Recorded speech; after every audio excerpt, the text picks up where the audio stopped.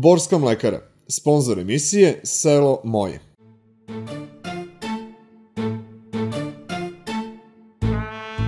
Na početku emisije evo ukratko i sadržaje. Kako vremenski uslovi utiču na jesenje useve u Borskom okrugu? Usevi za sada izgledaju odlično, znači nije bilo problema sa izmrzavanjem, nije bilo niske temperatura i tada kad su bile niske temperature bio je prisutan snežni pokrivač na usevima. Stočar Igor Janković iz Luke ispunio cilj. Nakon proširenja na farmi ima više od 70 grla. Država je prošle godine povećala premiju za 2 dinara, cena mleka je oko 47 dinara po, po litri mleka. Uh, isplati se u svakom slučaju.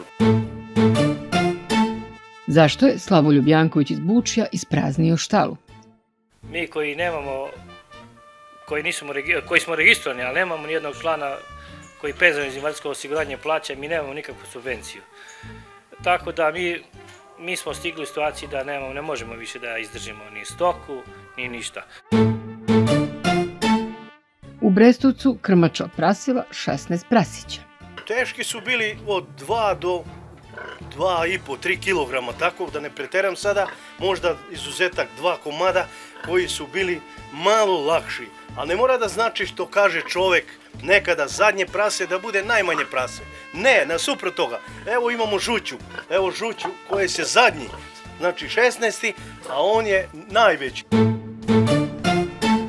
Počinju poslovi u pčelinjacima. Pčelari bi najpre trebalo da pregledaju košnice i prihrane pčele.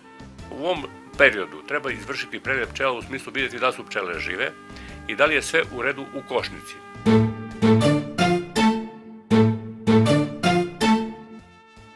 Ozimi usevi na teritoriji Borskog okruga su u dobrom stanju, s obzirom da ih nisu ugrožavale niske temperature. Poslednje padavine su takođe povoljno uticale na ratarske kulture, jer je obezbeđeno dovoljno vlage u zemljištu. Sredinom februara ratari bi trebalo da pristupe prvoj prihrani ozimi kultura koja je od veoma velikog značaja. Ove jesene na teritoriji Borskog okruga zasejano nešto iznad 24.000 hektara, od čega oko 18, skoro 18.500 hektara ili 75% je pod ozimom pšenicom. Usevi za sada izgledaju odlično, znači nije bilo problema sa izmrzavanjem, nije bilo niske temperatura i tada kad su bile niske temperature bio je prisutan snežni pokrivač na usevima, mada su i te temperature bile negde do minus 5, minus 4, tako to ne šteti čak ni ječmu koji je najosjetljivija kamoli pšenici ili titikalu. Opština Negotin prepostavljam da se uklapa u opštu sliku onoga što je registrovano na nivou okruga Bor. Tačno tako, opština Negotin je negde 50% pomenuti površina, znači zasejano, otprilike negde oko 10.500 hektara, najveći deo naravno po pšenicom i svi usevi za sada izgledaju dobro. Ne bi bilo dobro da se nakon ovog lepog vremena naglo padnu temperature i da pšenica nastavi vegetaciju ili još uvek u fazi mirovanja, ali za sada je sve kako treba. Ratari bi trebalo ovih dana da pristupe i prvom prihranjivanju, a vremenski uslovi očigledno i pogodaju za ovaj veliki posao.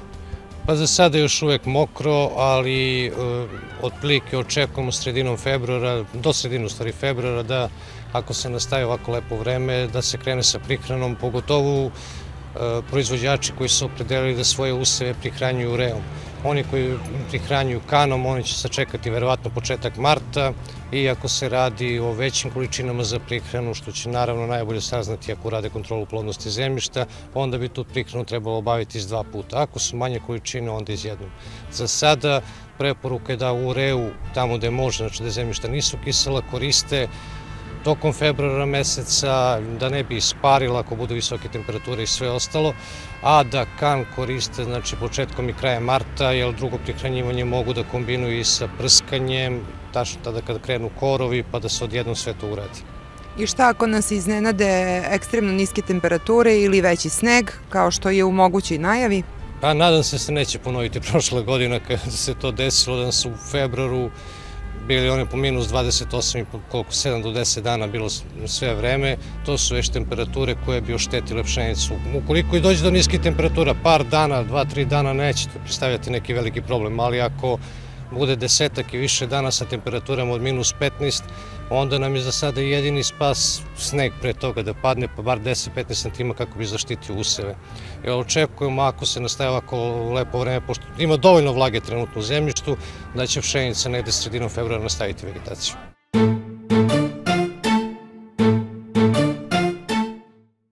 Prvi deo emisije posvetili smo stočarstvu. Redko imamo priliku da govorimo o mladom stočaru koji u postojećim uslovima kaže da je ispunio svoj cilj.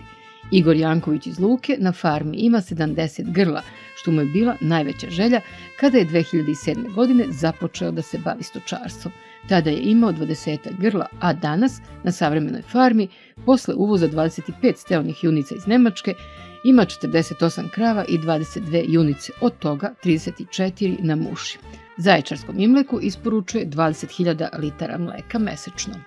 U ovim okolnostima, pošto je došlo do povećanja cene mleka, e, država je prošle godine povećala premiju za 2 dinara, cena mleka je oko 47 dinara po, po litri mleka, e, isplati se u svakom slučaju, mada imamo dosta kredita da otplaćujemo jer uzeli smo kredit od 100.000 evra pre godinu dana.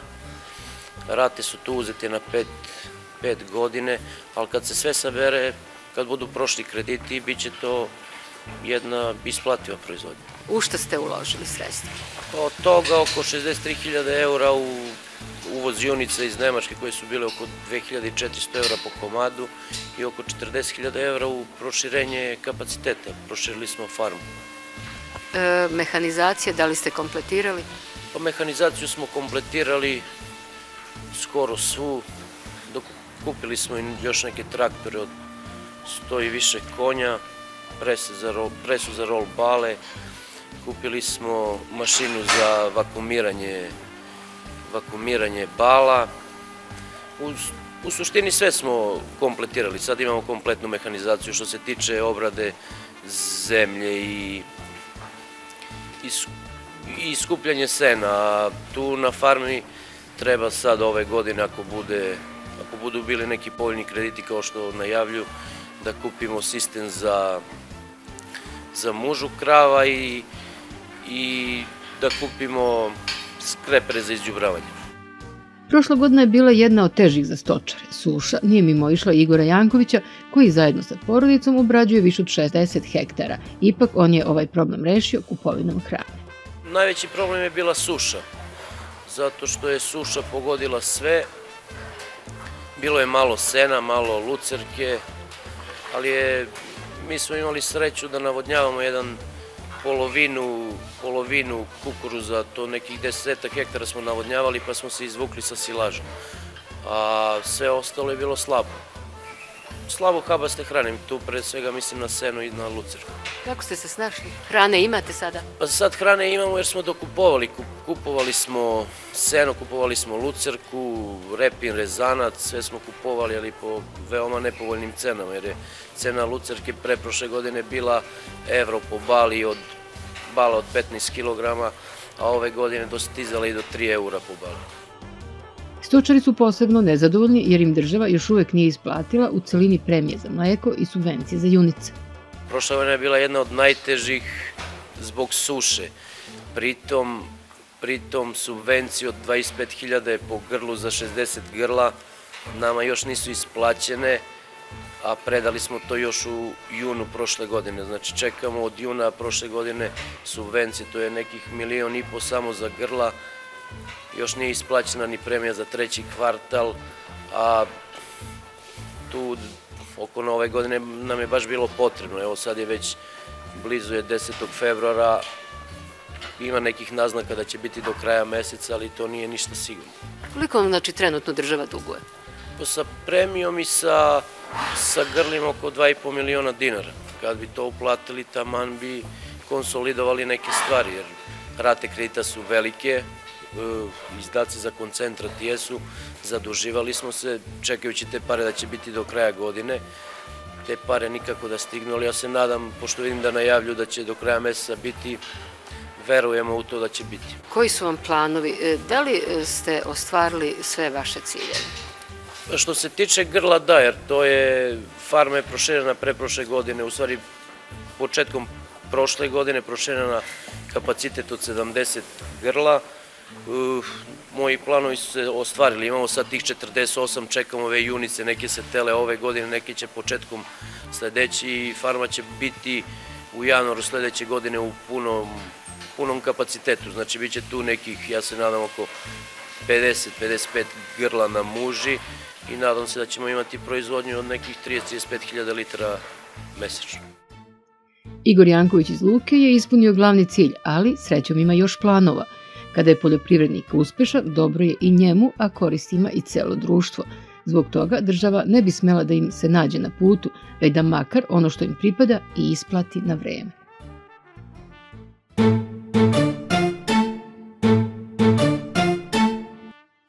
Redki su slučajevi poput Igora Jankovića, a veći broj je onih koji u poslednje vreme stoku rasprodaju. Nedavni popis poljoprivrede u Srbiji, nažalost, to je i potvrdio.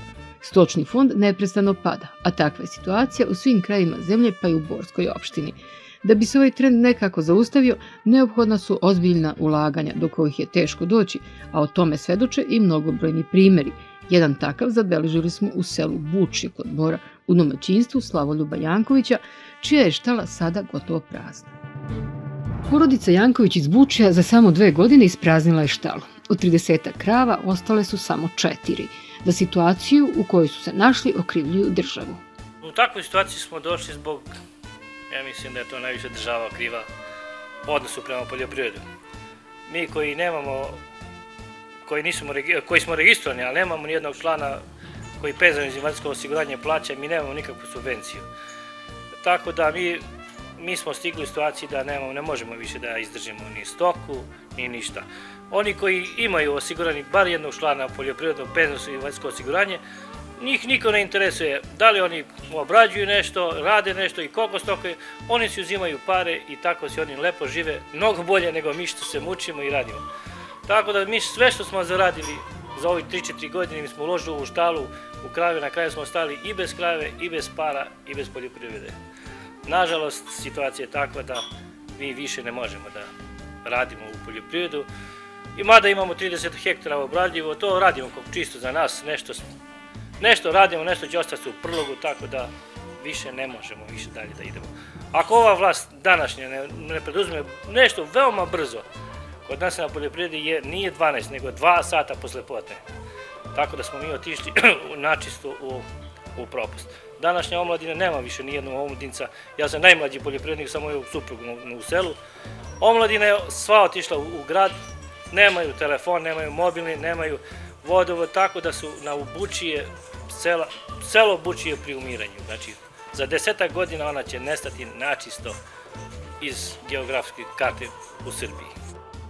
Da bi se izašlo iz postojeće situacije, država bi najpre trebalo da utvrdi koja su domaćinstva sposobna da se bave poljoprivredom i njima pomogne. Posebno je neophodno da se reši problem cena poljoprivrednih proizvoda. Mi smo prepušteni nadkupcima, prodavcima, tako da svi zgrabe koji koliko može i po bagatelnoj ceni. Što se tiče mlekarstva, mlekare nikog ne kontroliše da li su imamo ekstrakt mleka kvaliteta ili prvu, drugu klasu, oni nam plaćaju drugu klasu, pa to ti je što ti je. Tako da i tu smo od države prepušteni samo i sebi. Slavoljub je ipak i dalje optimista, spreman je da još jednom napuni štalu, ali pod određenim uslovima. A ako bi se promenilo bilo šta, onda bi sigurno bi popunio u štalu opet. Probao bi još jedan put. Mada sa strahom bi to uradio, ali probao bi još jedan put. Sada i pored ovih idealnih uslova, evo vidim imate i mehanizaciju, i pored idealnih uslova živite u selu, ne bavite se poljoprivredom. Pa, to što sam vam rekao, živim u selu, ne bavim se u poljoprivredu zbog što tih uslova, jer sve što smo zaradili od poljoprivrede i od moje plate, sve smo uložili i na kraju smo nemamo ništa. Koliko evo vidimo, imate 4-5 grla? Pa imamo dve kravi i dve junice samo, ništa drugo. Za vaše potrebe? Za naše potrebe i to, ako ništa se ne preduzme u ovoj državi i to će da smanjimo, znači ostaćemo ih bez tih dva komada. U Buče koji imali 30 više što stao sam na dva, oni koji su imali dva nemaju više ni jednu, tako da u selo Bučije može se broji krave na stotina krave. Ako ima stotina krave, to je mnogo. Prava je šteta što je porodica Janković došla u ovakvu situaciju, jer kada su podizali štalu, imali su zaista ambiciozne planove koji su bili temeljeni na realnim osnovama. Imaju kompletnu mehanizaciju, 30 hektara obradive zemlje, idealnu klimu i ekološki zdravu sredinu.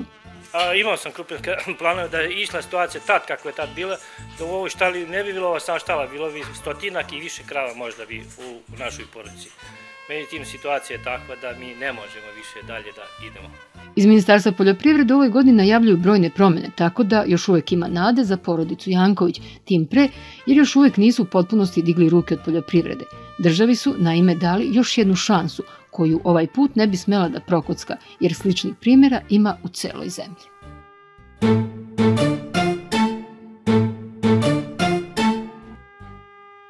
Na početku godine država ipak najavljuje povoljnije uslove za stočare kako se ovakvi primjeri ne bi ponavljali. Krajem meseca u Zaječaru su stočari podnosili zahteve za posticajna sredstva za to junadi, poljoprivredno stručnoj i savjetodavnoj službi agroznanje. Čuo sam da ima taj posticaj za mušku telat. Ja idem većinom na tof. Sad ima samo dva komade, imam, mislim, još 7-8 da budu uvek svaku godinu oko 10 komada. Smo su povećavali proizvodnju, ne znam, počeli smo nekih 5-6 grla, sad smo došli do 20. Pa znače puno, znači može, ne znam, na neki deseta grla koje sad imamo u tovu, znači dobiješ bukvalno još jedno grlo. U agroznanju, gde se i prikupljaju prijave za subvencije, ističu da će dokumentacija biti popunjena i prosleđena i očekuju da će Ministarstvo poljoprivrede i dalje nastaviti sa subvencijama. Nadamo se da će to biti nastavljeno i u ovoj godini što je predviđeno novim zakonom o, o posticajima u poljoprivredi, tako da od već naredne nedelje ili za nekih desetak dana ćemo znati tačno ovaj, od kada će moći ponovo da, da podnose zahteve. Predviđeno je opet 10.000 po grlu kod tova junadi i 5.000 za to svinja. Novim predlogom zakona predviđeno je i proširenje oblasti koje će biti subvencionisanje. Ove godine je tim zakonom predviđeno osim tova junad i tova svinja da će ovaj da će imati posticaj i za tov jagnjadi, to je 1000 dinara po grlu. Imaće predviđeno i za pčelare za košnice 500 dinara po košnici, tako da ove godine će znači veći deo proizvodnje biti obuhvećen posticajem u odnosu na, na prethodne godine.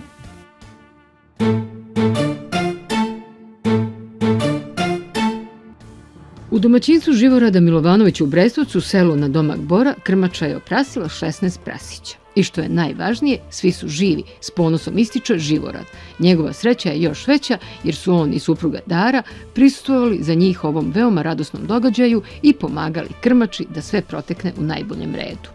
Ja sam tu ovaj za krmaču sam znam kad treba, mogu da napišem o tome knjigu, kad treba jedno drugo, moja krmača tako je sigurna u mene da ona uopšte se ne pomera dok se ne oprasi. Kad se sve znači isprazni, to jest da se oprasi, onda ako ona ustane, posle pola sata, sata vremena, ja pripremim malo dobru pomije, sa, normalno sa mlaku vodu, da se ona malo osveži, okrepi. Koliko su bili teški prasi? Teški su bili od 2 do 2,5, 3 kg, tako da ne preteram sada, možda izuzetak dva komada koji su bili malo lakši. A ne mora da znači što kaže čovek nekada zadnje prase da bude najmanje prase. Ne, nasuprot toga. Evo imamo žuću, evo žuću koje se zadnji, znači 16. a on je najveći, evo ga, najveći. Tako je napredan i to. Da li je dovoljno ta težina?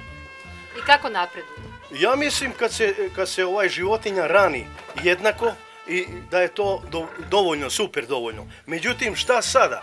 Ako ljudi ne znaju i to, kao ja što nisam pre znao, a sad 4-5 godine to praktikujem, ja posle rođenja, znači kad se oni svi okote, tu mora da budem da prisutan, i uvek radim, brišem i to sve, to mene nije stid, bez rukavica, ja to, posle to, to. E šta sada? Znači, Posle toga ozdma oni idu na sisanje. Čim počnu da sisaju, kad se krmač odjednom uznemiri, vrisne, ustane, poče da juri, znači oni imaju jake zubići. Onda sam posle sat vremena uvatio to sve, pokupim, nosim u podrum, posečemo zubići sa grickalicu sve, donesemo opet krmača moja je tako pedantna i tako kao dete, onaj, kao čovjek, da zna da mogu da uvatim prase kad hoćeš, da nije me strah od nje. I ona ima razumevanje za mene. Ovo je deveti put kako se prasi, a sarađujem sa doktorom, doktor Bane, i onda to je znači veštački osemenjeno i mogu da kažem da je to super za mene. Zadovoljan sam s time da je ona, znači prošli put je napravila 17, sada 16 i tako da uvek očuvam, hranu kupujem jedno drugo, ali uvek sam zadovoljan, kažem, čuvam radi hobi i više radi dece. Deci pomažem sa hranu jedno drugo i tako. Svaka životinja pa i svinje traže pažnju i nego. Živorod zagreva štalu, menja im veoma često prostirku, a one koje ne mogu da sisaju hrani cuclom. Nad njima bdi 24 sata.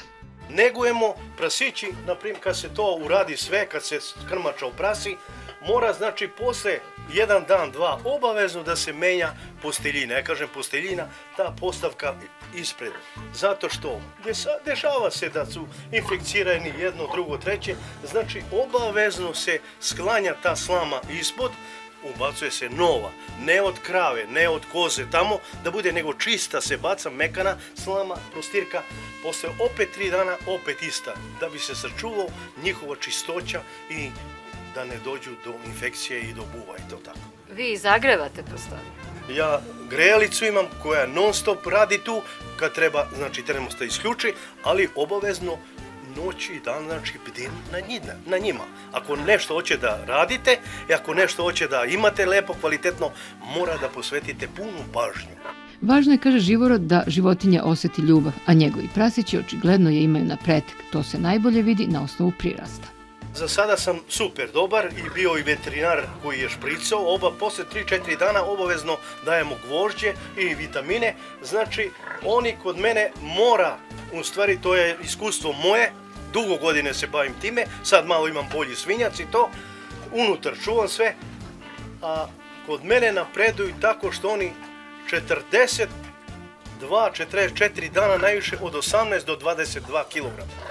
Rasa je izuzetna, ne menjam rasu, to je rasa Pijatren. Ovoliki broj prasića nije redkost, kažu u veterinarskoj stanici u Boru, čiji su veterinari veštački je osemenili. To se radi sa ciljem da se poboljša prvo rasni sastav, koji je kod nas ovaj, dosta loš, mogu to reći slobodno, i e, sa ciljem da se suzbiju neke bolesti koje se prenose prilikom prirodnog pripuštanja. Da kažem da nam je trenutno ovaj, najveći broj prasadi koje smo uspjeli od veškog smenjavanja na teritoriju opštine Bor 21. Osim dobrog prirasta, Pija Tren rasa je najmesnatija svinja i izuzetno je tražena na tržištu. Zbog toga bi, kaže Živorad, povećao broj, ali nažalost za sada nema uslova, jer veoma malo ima obradive zemlje.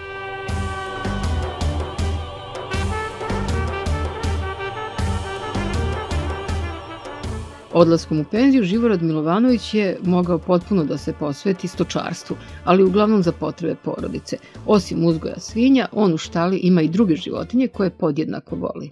Vi se iz hobija bavite, e, evo, poljoprivredom, pre svega stočarstvom. Imate i ostalu stoku?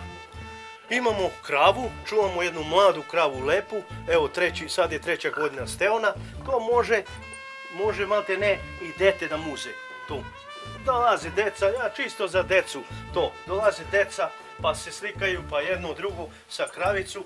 Inače kravu smo uzeli, kupili smo to tele, a zamolio ne čovjek, nemojte da koljete, molim vas, a žena moja tako, ona, ona je voli stoku, jedno drugo, kaže daj da ga čuvamo, da čuvamo i ona je stvarno izraslo u kravu, pa prvi put se otelio lepo, pa drugi put, evo treći put da je sad steona i tako smo zadovoljni jedno drugo. Sve od hobi, kupujemo detelinu.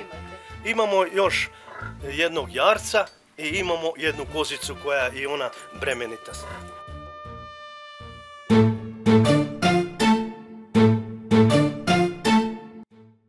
Iako je još uvijek hladno, u pčelinjacima počinju poslovi. Najvažniji su pregled košnica i prihrana pčela. U ovom periodu treba izvršiti pregled pčela u smislu vidjeti da su pčele žive i da li je sve u redu u košnici. Na koji način? Izvrši se podizanje pčela sa zadnjeg dela košnice, iako je teška, znači ima dovoljno meda i onda je s njom, da kažem, relativno sve u redu. Da li je matica živa, to se uzme, osluškuje se na samoj košnici. Ako je zvuk, da kažem, tih, miran, onda je u košnici sve u redu. Ako je pojačano brujenje, Znači nešto nije u redu sa tom košnicom, to treba pribeležiti i prvi lepi dan otvoriti košnicu.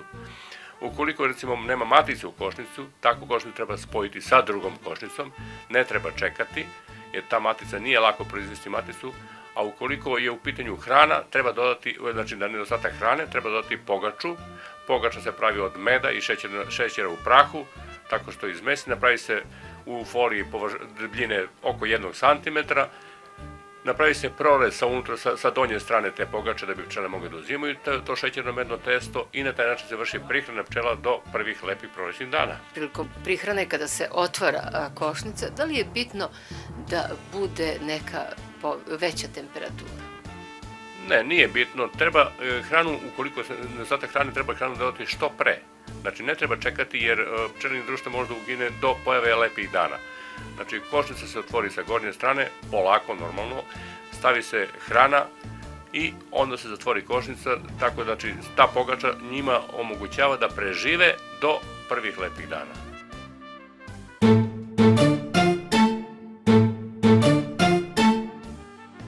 U Boru i svim selima u toku je vakcinacija pasa protiv besnima, redovna akcija koja se sprovodi dva puta godišnje. Očekuje se da će ovom akcijom biti obuhvaćeno 3500 pasa u običajem broju u poslednjih nekoliko godina. Standardno dobar je odziv, ovaj, uglavnom se u selima trenutno sprovodi, grad Bor je ostao za nešto kasnije, mada vlasnici pasa dovode se i sami sami ovdje u veterinarsku stanicu, tako da se ovdje obavlja vakcinacija. To je jedna redovna zakonski regulisana mera, jedan put godišnje za sve pse, odnosno za lovački i dva put godišnje i za maci isto tako jedan put godišnje vakcinacija protiv besnila. Zahvaljujući ovoj, ali i republičkoj akciji koja se sprovodi bacanje mamaka iz aviona, u Borskoj opštini u poslednje tri godine nema besnila. Veoma dobre rezultate imamo što se tiče epizotološke situacije na celoj teritoriji opštine Bor. Mogu da pomenem da smo zadnji put imali registrovano besnilo i to u selu Krivelj, kod nas u Boru, i to je bilo u septembru 2010. godine. Od tada se sprovodi sem ove vakcinacije koju sprovodimo redovno mi, znači sprovodi se i ta iz aviona, tako da od tada više nije registrovan ni jedan slučaj besnila kod divljih životinja na teritoriji opštine Bora. Da bi broj vakcinisanih pasa bio još veći, veterinari ovu akciju u selima sprovode od kuće do kuće. Vakcinacija košta 800 dinara, a zajedno sa čipovanjem 1400 dinara. Ova mera je obavezna, a protiv vlasnika koji se ne odazovu akciji biće preduzete zakonom predviđene mere.